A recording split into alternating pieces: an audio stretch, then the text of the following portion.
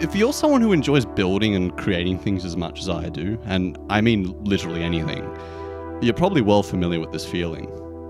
You wake up one day feeling inspired for one reason or another and envision some grandiose project in your head. Something that would be so cool to do and complete that it gets you hyped up just thinking about it. But unfortunately, as reality sets in, you quickly decide that such a project would be far too unrealistic or ambitious to actually be done yourself. Perhaps you think you simply wouldn't have enough time and it would take too long. Perhaps you think you don't have the talent or the skills to do so. Perhaps the scope of the project just seems so big and alien to you that you wouldn't even know where to start. About two years ago, I had this kind of thought while working on another unrelated project. At the time, I was only just getting into analog synthesis after picking up the piano again during COVID, and I was trying to think of new ways to incorporate this hobby into my already established love of DIY. The thought of building a modular synthesizer had crossed my mind at this point. I had come across people online who had done it, and my dad had brought it up in the past as an idea. But the idea had never really amounted to anything. It would be fantastic, sure, but I didn't know anything about that. The closest thing I'd ever done to a DIY electronics project was fiddling around on my Arduino. And the only real soldering experience I had was like a single class I did on it during uni. Nevertheless, I was determined to do something. Just not that. Leave that kind of project to the professionals. No, I needed to keep it real. I needed to do a project that was a little more realistic.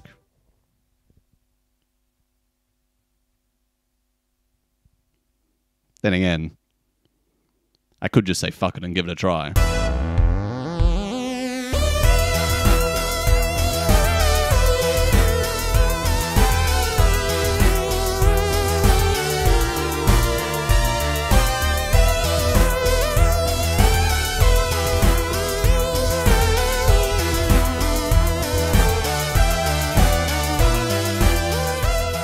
This bad boy right here is the Radvan Analog Modular Synthesizer, or RAM for short. With 44 modules over two cases and a keyboard, including six oscillators, four filters, a sequencer, effects, LFO, six envelope generators, an oscilloscope, noise generator, and a full array of drums, the RAM here was built to house its own little band's worth of electronic instruments. Short of any kind of dedicated polysynth, of course. I can't really express how happy I am with how this thing turned out. I mean, I started working on this thing back in mid 2021, and back then it never really occurred to me that I would get this far, yet here we are. If I want to get my hands on a brand new modular synthesizer of this size and caliber, and I mean full size, not Eurorack, I wouldn't be surprised if it set me back tens of thousands of dollars. This, on the other hand, over the course of like two and a half years, mind you, probably sent me back about two and a half grand Australian. So that's like what, 100 bucks US?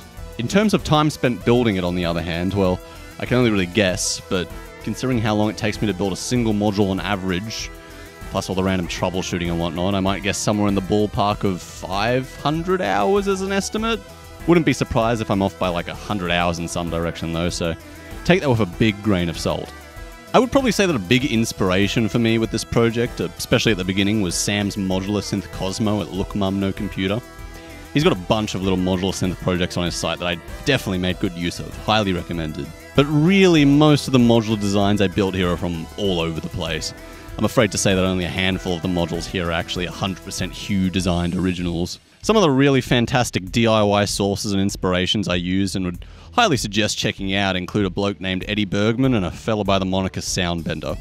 Both run their own sites slash blogs where they showcase their own modular synth builds as well as other things. They both have a whole lot of great build guides and such that I'd highly recommend checking out if you're interested. I'll link them all below. Then, of course, sites like Music from Outer Space, Yusynth, and a handful of others have some great resources if you want to try something like this. I gotta shout them out because without these people sharing their own build resources, I'm not sure where I would have started. Uh, the project certainly would have taken a lot longer if it even happened at all.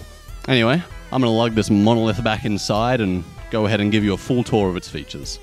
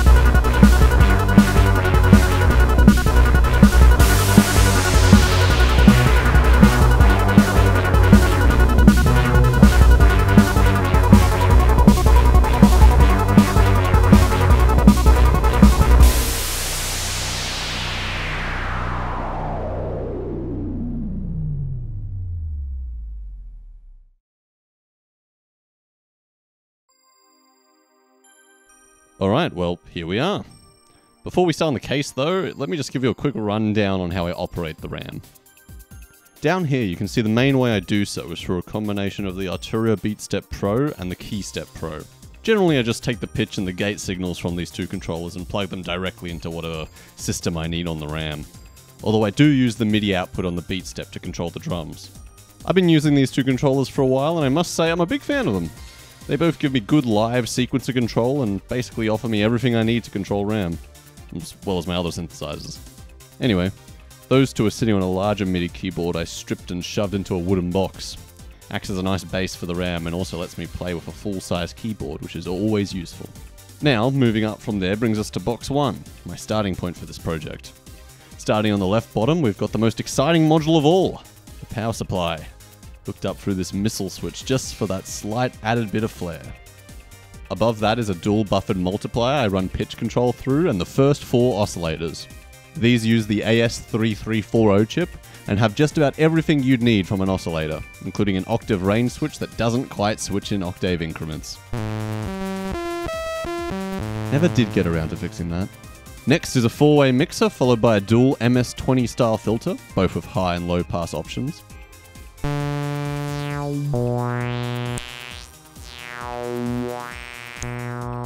These filters can be set to be linked, making a continuous filter chain, or they can be set to act as two independent filters. After that is a simple VCA followed by a neat little oscilloscope. Not the most useful in terms of troubleshooting electrical problems, but it does look cool. Isn't that just the most important thing of all? Finally, at the end here, we've got a sample and hold as well as a noise module. Jumping back to the start now is a simple 8-step sequencer. Fairly basic, but it's still fun to use. Next are two ADSR envelope generators, two unbuffered multipliers, and the RAM's one and only dedicated LFO, although you can use the oscillators as one as well.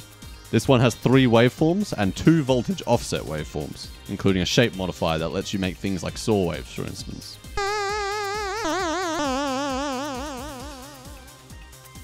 After that is a two-way mixer, followed by yet another filter, this time a Moog style ladder filter.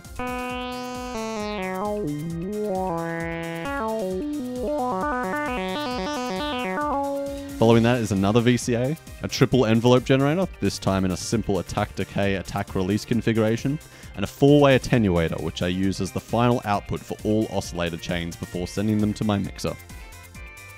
With the first box complete, we can now hop up to the second and more recently constructed box of the RAM. Starting with, of course, another power supply. Wowie!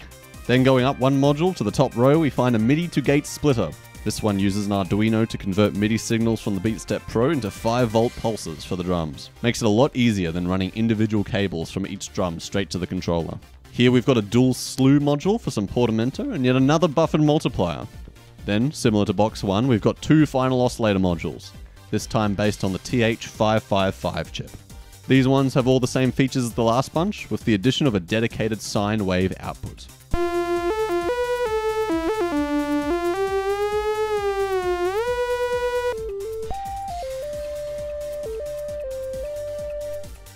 To complement those, we have another two-way mixer and the RAM's final filter. This one being a lovely Steiner Parker filter with low pass, band pass, high pass, and all pass settings. For this module I had some extra space and decided to also include a modified guitar tuner hooked up to the filter's line input. This not only makes tuning the oscillator easier, but once again, just kind of looks cool when you're playing. Gotta keep your priorities straight, you know? Then after that, yet another ADSR and VCA, identical to the ones from earlier, followed by the RAM's small but important effects section. Here we'll find a dual valve distortion module,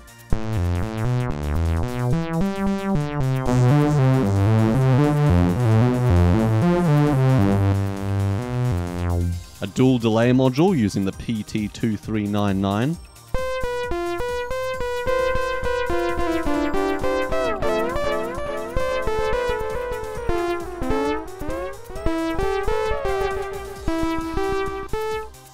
phaser. a ring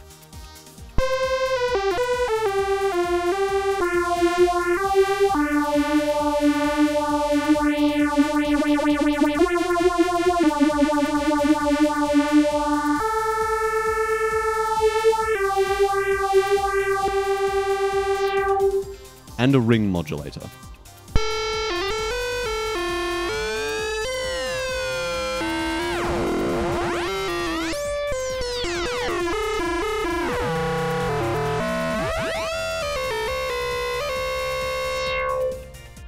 And now finally that brings us to the final section of the RAM, the drum kit. Starting off we have an 808 style kick drum, snare drum, a dual hi-hat module, so I can use one for open and close hi-hat sounds, a bell module,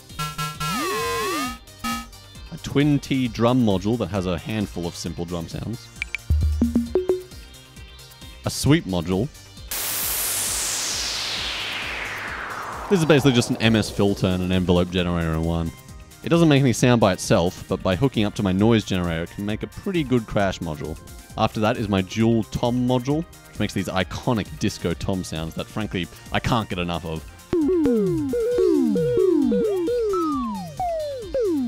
Honestly, I ought to make a drum machine with just like 10 of these. These are great. Then I've got a sidechain module to add a little bit more punch to the bass and kick.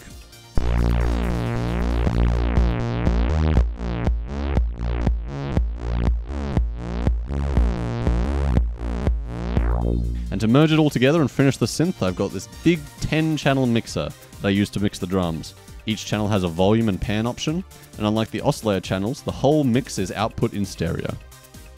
And that about does it as far as a feature breakdown is concerned. If anyone's interested, the final module I built for this project was the sidechain module, and the first thing I ever built was this single MS-20 style filter. If you're wondering where that one is on the RAM, it was actually the only module that didn't make the final cut, being replaced in favor of this dual filter variant. Its shell did get reconstituted into this Moog filter though, so I guess you could say it's still here in spirit. Anyway, as you might have guessed, I didn't really document the whole build process over two years. However, I did document the build progress for the very last module I did, just to show the kind of routine I went through when building each of these. Hopefully giving you guys an idea on how to build one of these if anyone's interested in giving it a go. We'll have a quick look at that in a sec.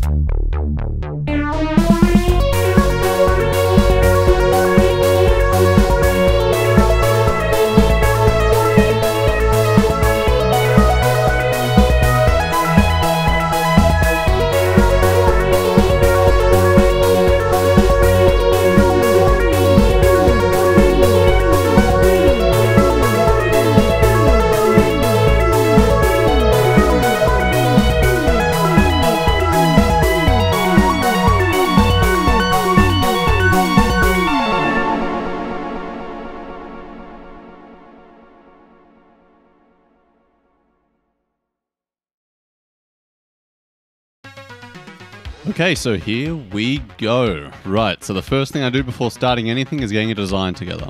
For this module, we're going to be going with a sidechain design that's conveniently already been stripboarded by Soundbender here, saving me some time. In this case, I first decide to make a couple modifications to the design to fit my needs, but once that's all done, it's off to the races.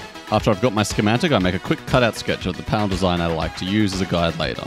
This step isn't exactly necessary, but I like to do it to ensure jack and pot placement positioning is somewhat consistent with the other modules on the synth. That then takes us outside where I start cutting an aluminium sheet down for size for the front panel. For my synth, I use 1.6mm aluminium with a height of around 200mm. The material and thickness choice here isn't terribly important, this is just what I had on hand, but you could use anything from plastic to perspex to wood, glass. Actually, yeah, there's an idea. So I'll make a glass synth, I'd like to see that. Once it's cut out, I bring back the panel sketch from earlier and mark down the spots I'll need to drill, punching them as well to stop the drill bit from slipping. When I do drill, I start by making a pilot hole before going back through with the actual drill bit sizes I'll need to fit each component. Despite this being like the 40 somethingth time I've done this, I still don't remember the correct drill bit sizes for everything, so I always make sure to compare the drill bit sizes with each component as I go. When that's done, I deburr all the jagged edges left over with the largest drill bit I can find, give it a good sand to clean it up, and set it up to be spray painted. Make sure to wipe all the aluminium dust off first though. Oh, and make sure to drop it on the ground too. Work hard, hardening, you know. While that's drying, I start cutting some standoffs out of an aluminium angle bar, allowing me to mount my strip board to the module panel later. I like to mount it at a 90 degree angle to the panel for ease of accessibility in case I need to modify it later. Makes cable management 10 times easier too. Now it's a pretty hot day, so by now the front panel should be dry enough for the next stage of painting, adding the pot level indicators. For these, I 3D printed a little stencil I made and glued it to a thin wooden panel. Then I just place it over the spot I want and give it a few good sprays. This is another one of those steps that isn't exactly necessary, but I think it makes the module look a bit more professional, quote unquote. Back inside again, and I continue by cutting the pots down to size, ensuring the knobs will sit at a reasonable level. Then I start painting all the decaling and lettering onto the panel in accordance to the sketch I made earlier. Single coat is rarely enough for me, so I also do a second one for good measure. With that done, I'm finally ready to fasten all the panel mounted components to the module, followed by these knobs to complete the look. Now I can finally put that aside and start work on the second part of this build, the circuitry itself. First, I start by marking down all the track breaks I'll need and drilling them out. Then I move on to the resistors, diodes, wire bridges, socket mounts, capacitors, and anything else I've forgotten. Only once everything is in place do I drill the board mounting holes I'll need to fix the circuitry to the front panel with the standoffs I made earlier. Looking pretty good, but we're not done yet. Because for this design, I'm also going to be building a DIY Vactrol consisting of an LED and photoresistor. How exciting! To do this, I first sand the LED down so it sits flush with the photoresistor, slot both into a shrink tube sock, and blast it with a heat gun. If all went well, we'll be left with a decent approximation of a Vactrol, nice and isolated from any external light pollution. And that finally finishes off the last electrical component to be attached to the strip board, allowing us to move on to wiring the panel mounted components into the circuit itself. This can be a fairly tedious step, especially when there's lots of wires, but for this module it's fairly straightforward. Last but not least, I socket the one IC I'll need for this circuit and the whole thing is finally complete. Then, once I've given it a test and fixed any bugs, it's ready to be slotted into the RAM, finishing off the build and in this case the whole damn project. Wowie.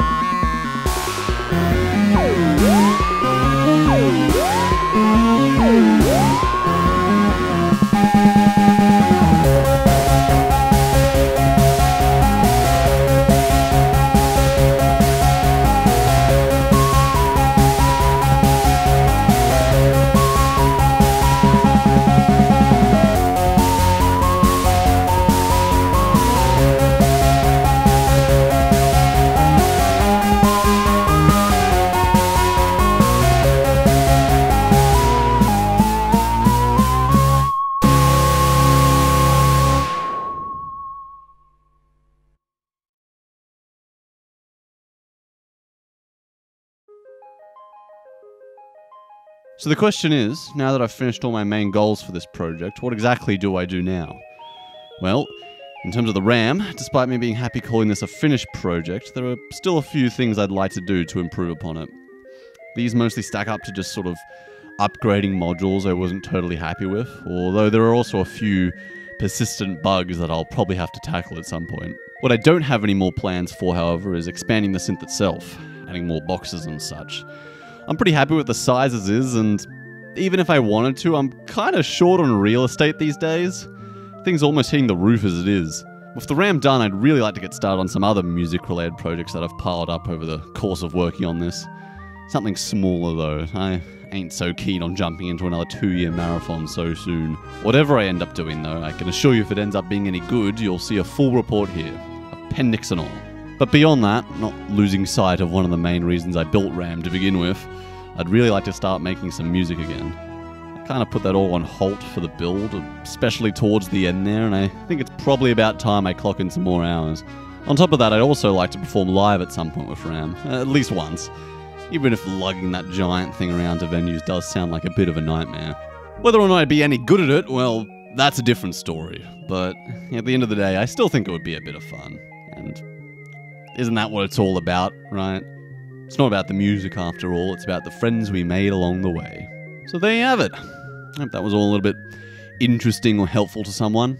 And to anyone considering undertaking their own modular synthesizer build themselves, uh, well, get started.